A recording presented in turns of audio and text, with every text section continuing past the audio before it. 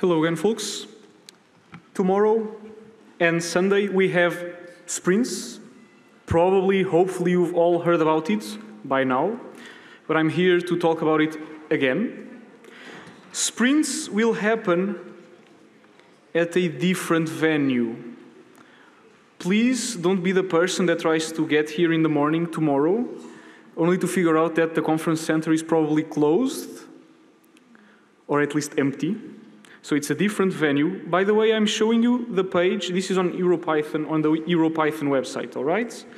You just go to events, sprint weekend, and you have all of this information there. Now, while I'm talking slowly, will sprint organizers please walk up to the stage while I'm talking slowly so that you have time to get up, to join me on stage. Please do that now. So the location of the venue is on the website. It's a different venue. We're going to a university where we're going to have lots of tables next to each other and electricity, which is all we need, and also coffee and food. So that's good. How do you get there? Well, you just move your body to the location that's shown here. I hear you can walk there, and there's also public transportation. Please read this information if you need help. I'm not going to. I'm not going to do that for you. English is difficult. I know Python, kind of. I used to know Portuguese and I studied English. Nowadays, I only know Python. Barely. What is a sprint? Kind of like a hackathon. We're just all going to get together and work on a project. Well, what project? Some maintainers did submit projects that they're here to represent and to help you get started with. So on the website, you have a list of projects that were proposed. You can also, you can still propose yours. There's also instructions on the website on how to do it. And now, uh, okay, so they're here. Okay, I, I, I, thought people really didn't understand my, my English. So now I will invite the maintainers of the projects that are listed on the website to do a short, convincing, they're going to talk for a little bit, try and convince you that their project is the best ever because they're all awesome, and so that you join them tomorrow. Welcome them, please.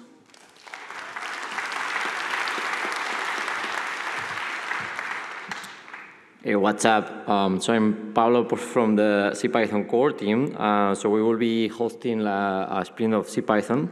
Uh, so you were excited about this PyREPL thing that Łukasz showed. Like now is the time to like implement those emojis, um, if you can convince us. Uh, in any case, it's going to be a bunch of core developers tomorrow. Um, we welcome contributors from all levels, so if you have no experience whatsoever, you are welcome. And if you have experience, uh, you are welcome as well.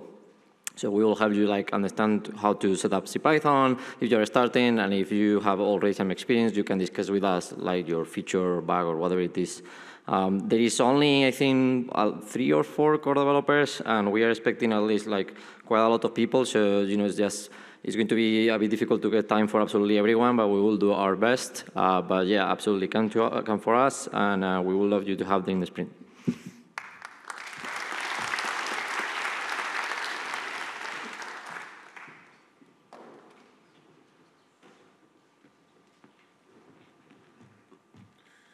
So hi everyone, I'll try to scroll this down a little bit, so yeah. Yeah, so we are representing the Falcon Web Framework. I know the web framework landscape is really crowded, so you might ask, why not this or why not that?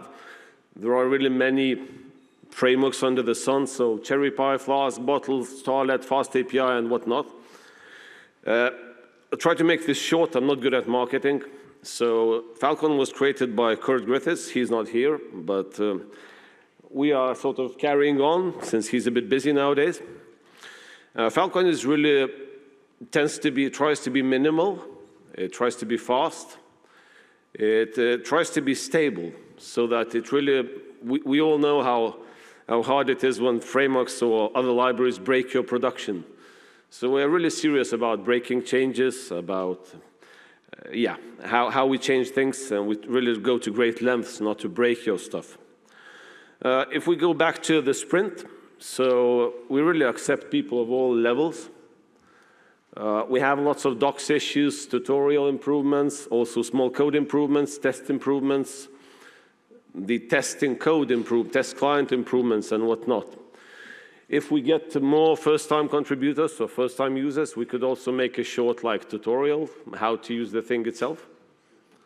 And also we support both WSGI and ASGI, so async and non-async. So we would love to see you there. Do you want to say anything, Federico? No, it's fine. see you tomorrow.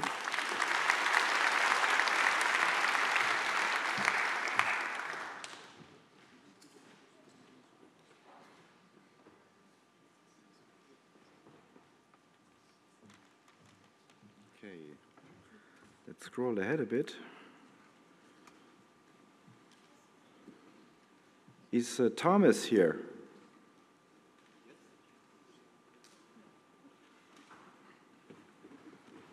There you go. Hello, I'm Thomas. Who knows Pygments? So Pygments is a library to do syntax highlighting of source code. And who knows tools like SLOCCount or cloc?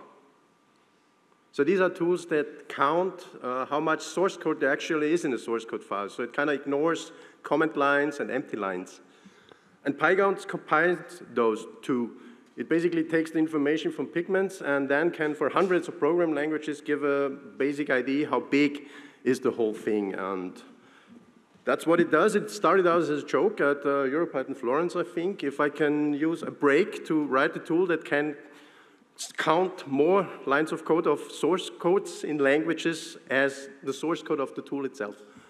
And basically it succeeded, but uh, over the years it gained more functionality, now it's a bit bigger. And I have a collection of things I want to improve with it. Some of it is maintenance, like removing deprecated code, work with the documentation. Some of it is adding new features. Some of it is cleanups, like switching to pathlib.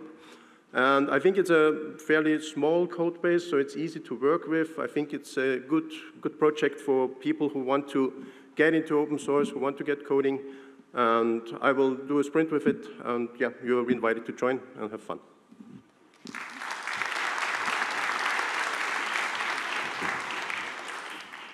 Okay, so now it's my turn. I want to sprint on the eGenix PyRun. How many of you know eGenix PyRun? Can't see, but not that many people. Uh, I gave a talk on this on Thursday, and it's a complete, more or less complete Python runtime in just between four to six megabytes.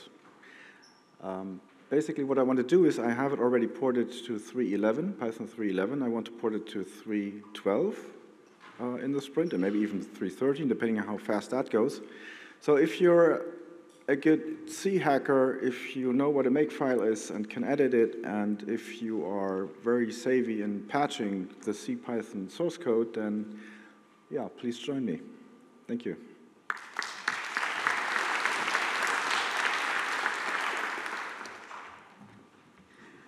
Whoops. So, oh, hi. Okay, who knows uh, PyO3? Okay, wow, good. Who can write Rust? Oh, good. So uh, tomorrow, um, I'm doing this uh, PyO3 workshop. I'm not a maintainer of, of PyO3. I just, you know, kind of um, disclaimer. But um, if you are new to PyO3, you want to learn how to do it, uh, I actually have written a workshop for uh, PyCon US before, and um, we can do that. Or if you are already familiar with PyO3 and you can write Rust, if you want to contribute to PyO3, since I am contributing to PyO3 as well, so we can just sit together and then maybe, you know, we can help each other. So uh, that's what we're going to do tomorrow morning. Uh, but tomorrow afternoon, um, if you have, you know, you're not interested in PyO3, but if you want to um, speak at the next EuroPython, then um, let's come to uh, the same room, and I'll be there, and I would uh, try to help you to maybe figure out um, what you know your next CFP you can submit to EuroPython next year, or um, you know if you kind of you want to start public speaking but you are kind of afraid of or you don't know what to start, like how to start and all these things. I am there to help. So please um, come to see me tomorrow. Thank you.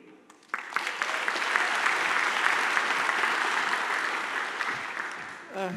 So I didn't add myself yet, uh, there yet, but uh, if you want to start with electronics and Python in electronics with MicroPython and CircuitPython, now is the easiest way to do it. It has never been so easy. You can build things like that. And uh, there are also handheld game consoles and all this stuff. So uh, that's it. Thank you.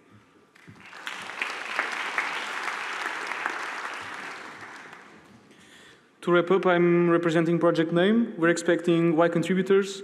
No, just kidding.